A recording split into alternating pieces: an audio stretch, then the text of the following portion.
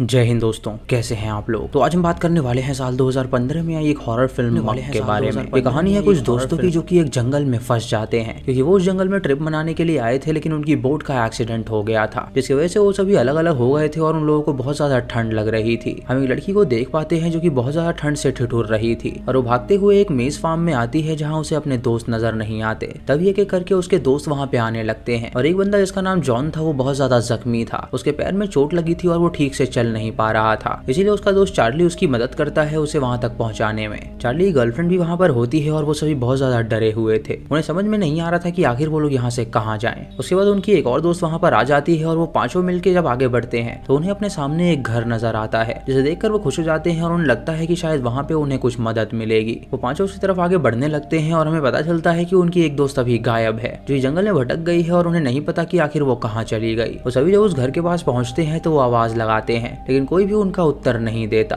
ये देखकर वो सभी उस घर के अंदर दाखिल हो जाते हैं और हम जॉन को देखते हैं जिसके पेट से खून निकले ही जा रहा था, क्योंकि एक लकड़ी उसके पेट के आर पार हो गई थी। वो अपने दोस्तों से कहता है कि उसे लगता है कि शायद वो ज़िंदा नहीं बचेगा। तो वो उससे कहते हैं कि वो चिंता ना करे, वो यहाँ से मदद लाएँगे और हॉस्पिटल तक उसे पहुंचाएँगे, जिसकी मदद से वो फिर से ठीक हो जाएगा। उसके बाद वो लोग जॉन को उठा के सोफे पे लटा देते हैं और उसे कहते हैं कि वो अपने हाथ का प्रेशर अपने पेट पे बनाए रखे, ताकि उसका खून और ज़्यादा ना बह सके। चार्ली अपनी गर्लफ्रेंड से कहता है कि उसे यहाँ से जाना होगा मदद लेने के लिए। उसकी गर्लफ्रेंड उससे पूछती है कि वो कहाँ पे जाएगा। उसे बताता है कि वो रोड को फॉलो करते हुए जाएगा और शायद उसे कोई ना कोई मिल ही जाएगा जो उनकी मदद करेगा। उनकी उसकी गर्लफ्रेंड उससे कहती है कि वो अपना ख्याल रखे और उसके बाद चार्ली वहाँ से चला जाता है मदद लेने के लिए। किचन में लड़की को वाइन मिलती है, जिसे देखकर वो खुश हो जाती है और वो उसे जॉन के पास लेकर जाती है और वो दोनों मिलकर उसे पीने लगते हैं। तभी चार्ली की गर्लफ्रेंड वहाँ पर आती है और उनसे कहती है कि इतने टफ सिचुएशन में वो ये सब क्या कर रहे हैं। तो लड़की उससे कहती है कि उन सबको यहाँ पे एंजॉय करना चाहिए। उसके बाद वो लड़की उनसे कहती है कि वो शार लेने के लिए ऊपर जा रही है। और जब वो ऊपर बाथरूम में जाती है तो हम देखते हैं कि उसे कोई चोरी चुपके से देख रहा है। जॉन चार्ली की गर्लफ्रेंड से कहता है कि वो बेसमेंट की ओर जाए, ताकि वो वहाँ पे कोई चाकू ढूंढ सके अपनी प्रोटेक्शन के लिए। जब वो लड़की वहाँ पे बेसमेंट का दरवाज़ा खोलती है तो हम उसके सामने एक गंजे बंदे को देख पाते हैं, जो की उसे घूर रहा था।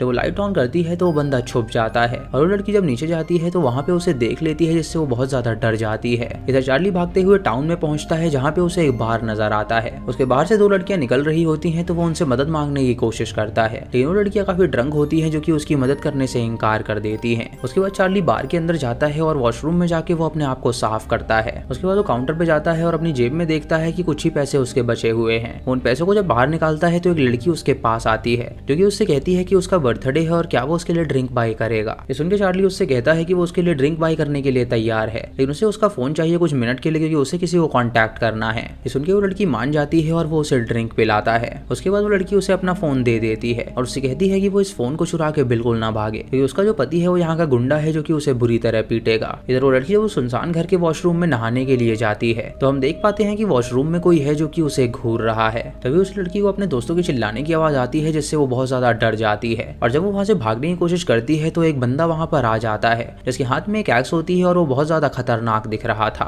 वो बंदा उसके पेट पे वार कर देता है, जिससे उसकी अतड़ियाँ बाहर आ जाती हैं, और उसके बाद वो उस एक्स से उसकी गर्दन पे मारता है, जिससे उसकी गर्दन अलग हो जाती है और उस लड़की की वहीं पर मौत हो जाती है। इधर चार्ली उस लड़की के फ़ोन से अपने कज़न ट्रायड को कॉल करता है और ट्रायड अपने घर के पास बार में होता है जहाँ वो अपनी दोस्त चांदी के साथ आया था और उसे वहाँ पे एक नई लड़की भी मिली थी जो कि उसे काफ़ी ज़्यादा पसंद आ रही थी। ट्रायड जब उसका फ़ोन उठाता है तो वो उससे पूछता है कि उसे क्या हुआ है। तो वो उससे कहता है की वो अपने दोस्तों के साथ एक जगह पे फंस गया है और उसे वहाँ पर आना होगा उन लोगों को हॉस्पिटल तक पहुँचाने के लिए। ये सुनकर ट्रायड उससे कहता है की वो वहाँ पे नहीं आ सकता। तो वो उससे कहता है की अगर वो वहाँ पे नहीं आया तो उनका एक दोस्त मारा जाएगा। ये सुन के वो काफ़ी घबरा जाता है और उसकी मदद करने के लिए तैयार हो जाता है। वो चांदी को सारी बात बताता है और उससे कहता है कि उन्हें यहाँ से अपने भाई के पास जाना होगा, ताकि वो उसके दोस्तों की जान बचा सके। उसके बाद वो वहाँ से उठता है और अपनी दोस्त चांदी और उस लड़की के साथ वहाँ पे जाने लगता है। बारटेंडर उससे पूछता है कि आखिर वो कहाँ पे जा रहा है। तो वो बारटेंडर को उस टाउन का नाम बताता है। ये सुन के बारटेंडर काफ़ी घबरा जाता है और उससे कहता है की उसे वहाँ रात को हरगिज नहीं जाना चाहिए वहाँ पे बहुत ही अजीब घटनाएँ होती है और उसके लिए वहाँ पे सेफ़ नहीं है। उससे कहता है की उसका भाई वहाँ पे फंसा हुआ है और वो वहाँ पे उसे छुड़ाने के लिए जा रहा है। उसके बाद तीनों अपने आखिरी शॉट्स लेते हैं और वहाँ से चले जाते हैं।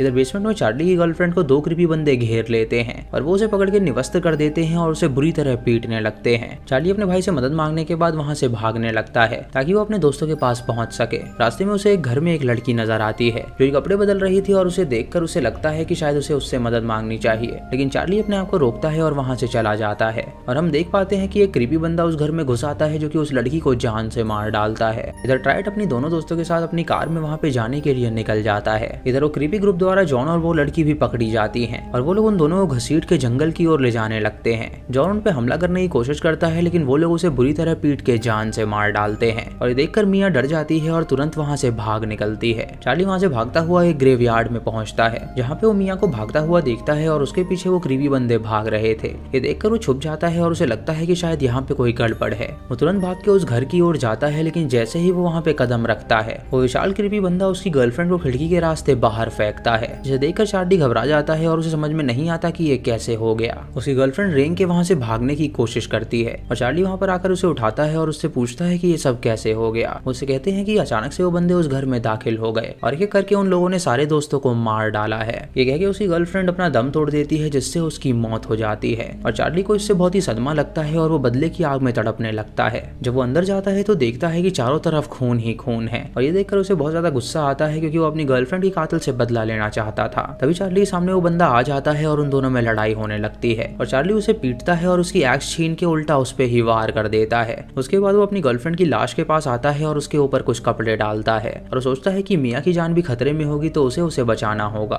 इधर मियाँ भागते हुए एक सुनसान जगह पर पहुँच जाती है, जहाँ पर उसे एक घर नज़र आता है जिसके अंदर जाके वो छुप जाती है। उसे लगता है की वहाँ पे वो सेफ़ रहेगी, इसीलिए वो बेड पे जाके बैठ जाती है। लेकिन तभी उसे बाहर से उन क्रीपी बंदों के चिल्लाने की आवाज़ आने लगती है, जिससे उसे पता चलता है कि वो यहाँ पर भी सेफ़ नहीं है। उसके बाद मियाँ वहाँ से बाहर निकलने का फैसला करती है। वो दरवाज़ा खोल के वहाँ से चोरी छुप पे भागने की कोशिश करती है, लेकिन तभी वहाँ पर एक बंदा आ जाता है जो कि उस पर अटैक कर देता है। उसे पकड़ के उसे कपड़े फाड़ने लगता है, लेकिन तभी मियाँ के हाथ एक भाला लग जाता है, जिसे वो उस बंदे के पेट में घुसा देती है, जिससे उस बंदे की मौत हो जाती है। उसके बाद मियाँ वहाँ से उठती है और अचानक से एक टोटी वहाँ टूटती है और उसके ऊपर पानी गिरने लगता है, जिससे वो अपने शरीर पे गिरे हुए खून को साफ़ कर लेती है। इधर ट्राइड जब अपने दोनों दोस्तों के साथ उस टाउन में पहुँचता है। तो अपनी गाड़ी के आगे वो उन्हीं क्रीपी बंदों को देखता है जो कि उसकी गाड़ी के सामने खड़े हो गए थे। ट्राइड अपने दोस्तों से पूछता है कि आखिर ये कैसे लोग हैं जो कि एक ही तरह दिख रहे हैं। तो चांदी उससे कहती है कि उसे ये लोग काफ़ी ज़्यादा अजीब लग रहे हैं। तो उन्हें इनके रास्ते में नहीं आना चाहिए और यहाँ से चल देना चाहिए। ट्राइड उससे कहता है कि वो अपने भाई को लिए बिना यहाँ से नहीं जा सकता।